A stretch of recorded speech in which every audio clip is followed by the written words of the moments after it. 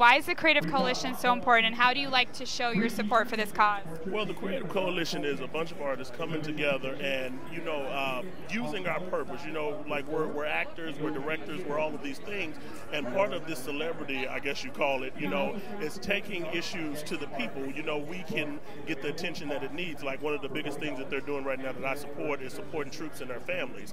And be, with a High Life campaign I do, that's what we do is give vets a piece of the High Life. So to join forces with them, you know, uh, with the IAVA, with the Creative Coalition, we can really make this message hit home. We couldn't be doing what we're doing if we didn't have these people sacrificing, you know, and not only the soldiers, but also their families who are here missing them and worried about them and waiting for them to return.